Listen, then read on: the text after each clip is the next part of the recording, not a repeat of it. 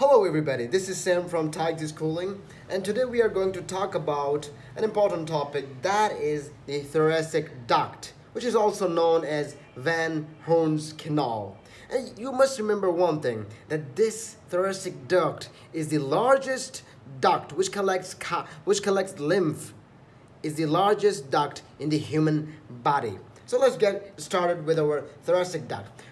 So thoracic duct is a seven. It's it collects seventy five percent of the lymph of body, aside from right upper limb, right breast, right lung, and right side of head and neck, and it passes through the, the, the all and except these areas, all the lymph passes through the thoracic duct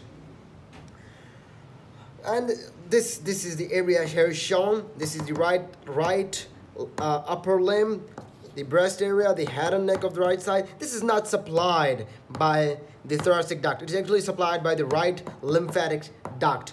But the two lower limbs and the lower part of the two lower limbs, the lower part of the uh, abdomen, and the right, the left, actually, the left thorax and left upper limb and head, left head and neck is supplied by the thoracic duct. Remember that. This all area is supplied by the thoracic duct and the right side is not supplied by the thoracic duct but it's actually supplied by the right lymphatic duct. So let's move on and say that this duct which is called thoracic duct it is it actually starts at the level of T12 of vertebra. We are going to discuss it here, but this is something, this is the lower part, we are going to discuss it. But remember that the thoracic duct, we are being specific. The thoracic duct starts from T12.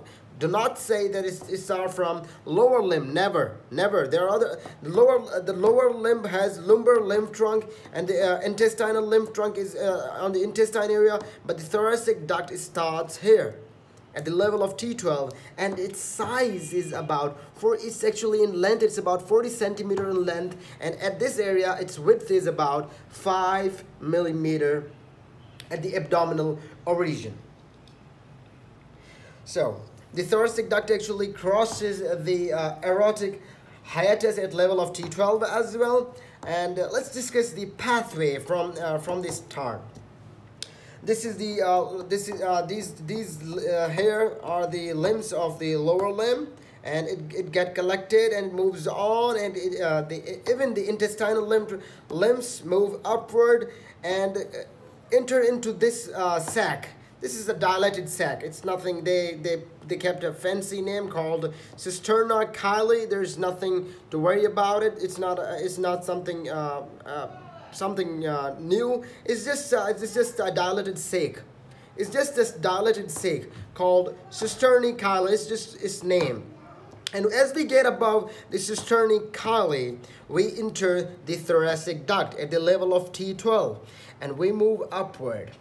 Upward as we move upward. At the level of T5, it actually takes a turn and again become straight at the, uh, with, with the esophagus and just moves upward and at the level of C7 it takes a right it takes a right turn and at the, even we can say that at the level of C7 it actually drains because we are going to discuss it here.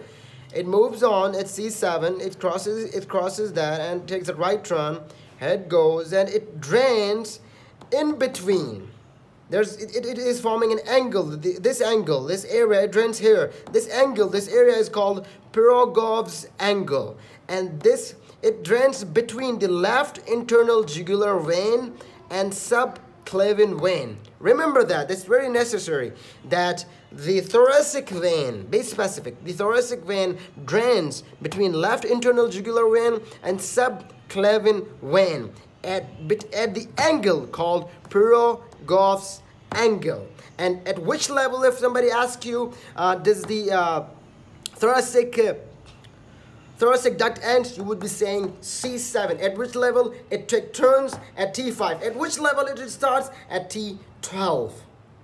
So this is the basic concept of the thoracic duct and remember where it goes now as it drains uh, at the Pirogov's angle and re-enters the systemic, systemic venous circulation. So this is all about the thoracic duct. There is nothing hard about it. I hope you understood all of it and uh, please make sure you comment on it and for future videos please visit Tixe Schooling.